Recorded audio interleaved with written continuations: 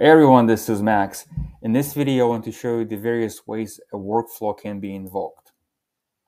So you're looking at a folder. I have nine workflows here. And the type column will help you see um, actually how a flow is invoked. So there are four ways a flow can be invoked. Um, first one is a schedule. Then we have a helper. Then we have app event. And then we have an API. So there are the these are the four ways the flow can be invoked. So let's look at each one. So first one is a schedule. And what this does is this is a, a scheduled flow card is that a flow will be invoked periodically. Um, if you click this little clock icon, um, you can configure how often a flow will be invoked. So you can go as often as five minutes right here. And there's some advanced options. So again, you configure and the flow will be invoked automatically. You need to do anything. Um, so again, five minutes can be every hour, can be every day, every week. Um, so this is the uh, scheduled flow. So this is one way a flow uh, will be invoked. And again, it's invoked automatically. So let's go back. Now, next one is a helper. So this is this is a helper helper flow. And what this means is that you need to create another flow to invoke this one. Right. So this is, for example, useful for if you have a for, like a loop for each uh, logic. So you could have a helper flow that would iterate over a list, for example. But let me give you a quick example how you would invoke this flow. So this is the card helper flow, and um, it has two inputs. So you, you define how many inputs um, helper flow would have. But let's go back. I want to show you uh, how you would invoke. So let's call um, call helper. Uh, again, this particular flow is again is a scheduled flow, but again, what I will show you is how to uh, invoke that helper flow. at function, and then flow control, and then call flow. And then you choose a flow, and we select it,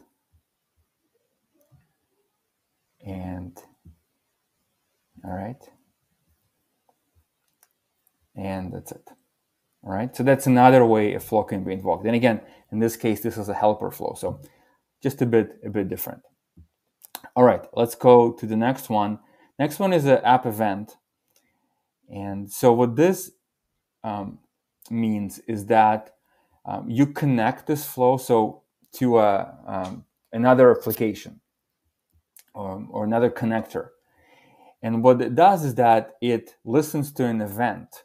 And once that event occurs, that event will trigger your flow. So in this particular case, this is um, Okta's user suspended. So once a user is suspended in your Okta organization, that event will fire and then in, in turn will trigger this flow. Okay, so that's that's how it works. So again, this is what is uh, called an app event, and there are many different events um, that you could uh, you could use. Um, I can quickly go back. Well, actually, let's go back here. Um, let's create a new flow quickly, just to show you an example. So there are a lot of different apps, and most of these apps, again, fire events that you can use to start a flow. All right. So let's go back. Um, now, the last one that I want to show you is the uh, API one. And the way this one is invoked is that via uh, an API endpoint. Uh, so this is the card API endpoint.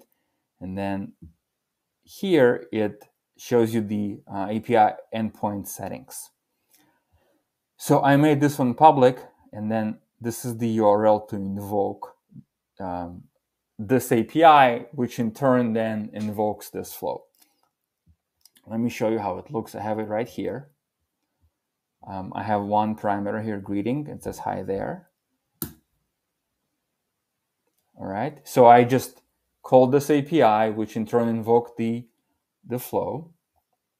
And then we can see right here, I sent a message to Slack. All right. Um, so that's it. Again, so there are four ways uh, scheduled, there is the helper, uh, um, app event, and then finally an API. So there are four ways you can invoke a flow.